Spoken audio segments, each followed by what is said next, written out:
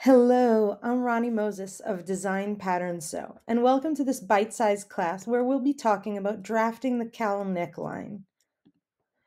What we're going to discuss today is how to draft a cowl neckline, how to calculate exactly how deep the cowl neckline will fall before we sew it up, where we want to add pleats, fullness, or additional fabric, and sewing the cowl top neckline. So, when we design our pattern, we're going to start with a well-fitting sloper. We'll determine how wide the cowl neckline should be by measuring the length of the shoulder seam from the outer edge of the shoulder inwards. Then, once we've determined where the inside points are, we're going to take a tape measure and drape it so that we could measure the length of the neckline we'll be measuring this from the inner edges of the desired shoulder seam. There are many different cowl necklines, and the difference is where we add fullness and where we add pleats, where we let their additional fabric be. We're going to discuss several variations today. So, here is a very simple cowl neckline. It's done by doing slash and spread. We're going to start at the shoulders and additional fabric will be added around the neckline. The depth of the added value volume is around the bust height and we don't have additional pleats or volume beneath the bust height. So, on our sloper, we're going to mark the desired shoulder length.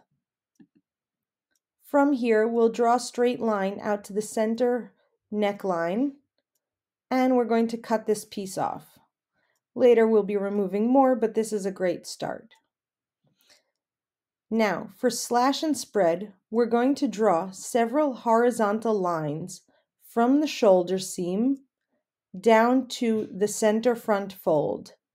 Since the volume is added only up to the bust, we're going to be drawing our lines down towards the bust and not further down.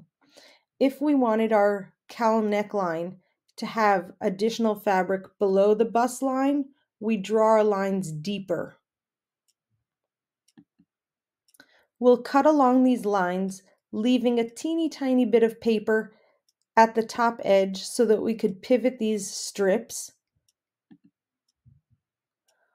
On a new sheet of paper, we're going to draw our center fold line and perpendicular from that out at a 90 degree angle, we're going to draw a line half of the length of our neckline, the desired neckline of the cowl, what we measured.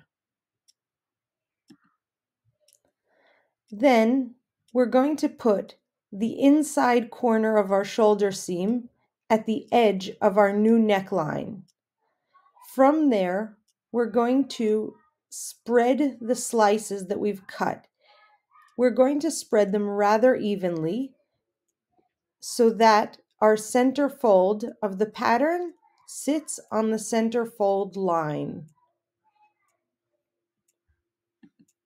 We're going to trace this out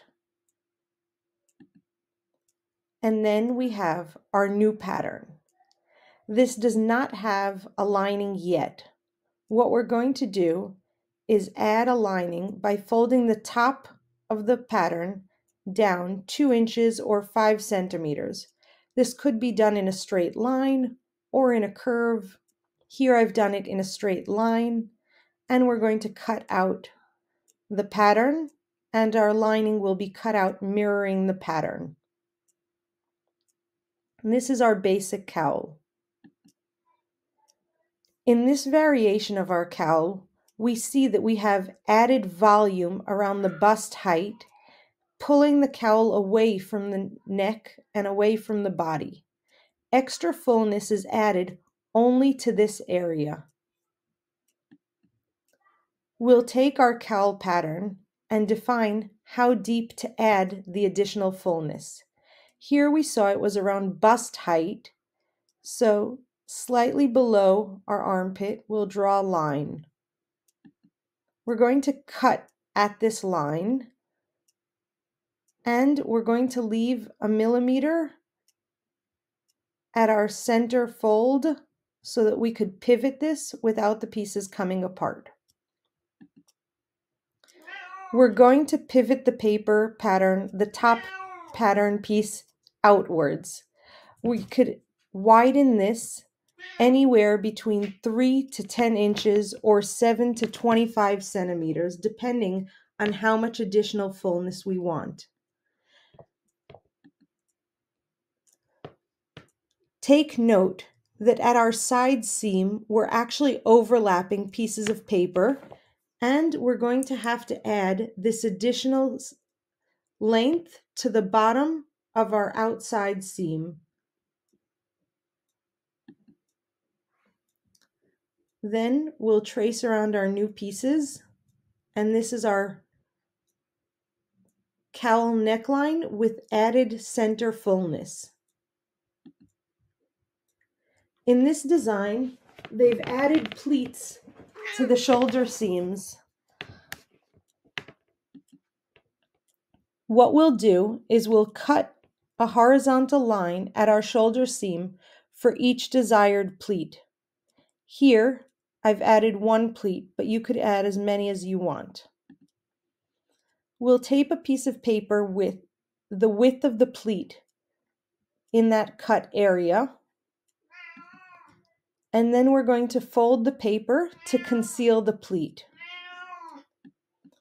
We'll cut our pattern and this will give us the shape of the pleat within the pattern. Once we're ready to sew it all together, we'll start with our back pattern piece. We're going to finish the back neckline as desired. Then We'll fold our lining around the back neckline, around the shoulder seams, so that we sandwich the back shoulder seams between the front and lining piece. We'll sew our shoulder seams with a piece of clear elastic or bias fabric, bias cut fabric, in order to give them stability over time. Once our shoulder seams are sewn together, We'll insert the sleeves using the flat insertion method. Then we'll sew down the sides of sleeves and bodice. With that, we could hem our shirt and sleeves as we normally would. Want to learn more? This was just a tiny taste, but I've got a six week hands on transformational course that empowers home sewists to draft and create patterns without purchasing or modifying patterns for every sewing project. We'll master the art of measuring and drafting patterns for yourself and others, creating a range of knit shirt designs. Throughout the course, I'll be talking about how different modifications affect different patterns, creating different results, whether we add fullness in place A or place B, I'd love to have you join me in my course, Fashion Freedom Formula Knit Shirt Edition. We start soon.